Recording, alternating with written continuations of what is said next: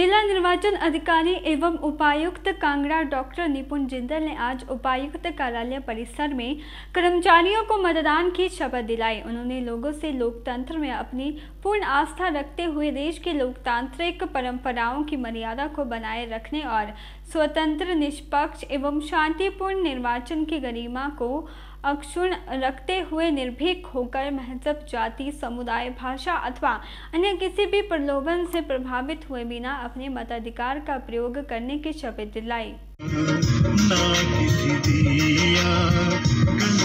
इस मौके पर जिला निर्वाचन अधिकारी एवं उपायुक्त कांगड़ा डॉक्टर निपुण जिंदल ने लोगों से आग्रह किया कि वह 12 नवंबर को घरों से निकलकर भारी संख्या में मतदान करें। इस दौरान राजकीय महाविद्यालय धर्मशाला के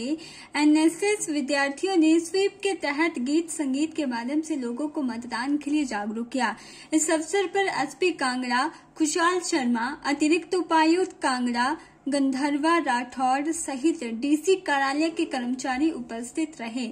देखिए, जैसे सबको विदित है, जो हिमाचल प्रदेश असम्बली के जो चुनाव हैं वो 12 नवंबर को आज से पाँच किए जाएँगे।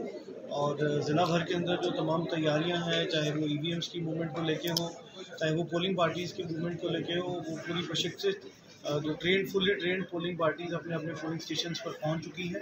उनको जो फुल्ली कमीशन और फुल्ली फंक्शनल ई वी उनको प्रोवाइड कर दिए गए हैं।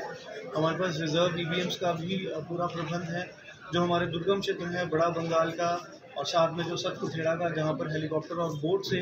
ई और पोलिंग पार्टीज़ जाती हैं, वहाँ पे भी पूर्ण रूप से सारी तैयारियाँ कर ली गई हैं। और जो हमारी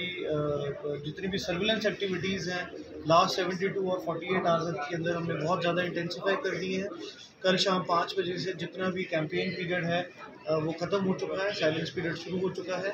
और एक शराब का जो हमारे लिकर वेंट्स हैं, ठेके हैं, या पब्लिक प्लेसेस जहाँ पर शराब की जो सेवन किया जाता है, उनके ऊपर भी पूर्ण रूप से प्रतिबंध लगा दिया गया है। और लॉ एंड ऑर्डर एसपी साहब की देखरेख में बहुत अच्छे से ज़िला कांगड़ा के अंदर एक पीसफुल तरीके से सब जगह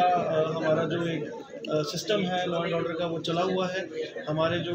इंटरस्टेट नाके हैं, वहाँ पे बहुत मुस्तैदी से हमारी पुलिस भी और जो नेबरिंग स्टेट है, पंजाब की, उनकी पुलिस भी वहाँ बहुत मुस्तैदी से नाके उन्होंने लगाए हुए हैं। हमारी F S T S S T हमारी और भी जितनी टीम हैं, चाहे वो एक्साइज की हों, चाहे वो पुलिस के दल हों वो पूर्ण मुस्तैदी से चौबीस बटा सात जो है, सभी मेजर आर्टीरियल रोड्स पे एक जो नाके लगाए हुए हैं और कोई भी ऐसी संदिग्ध गतिविधि यदि होती है, अगर इलिसिट कैश या लिकर या ड्रग्स का कोई भी मूवमेंट होती है, उसको पकड़ने के लिए पूर्ण रूप से तैयार है। ये चैनल के लिए धर्मशाला से ब्यूरो रिपोर्ट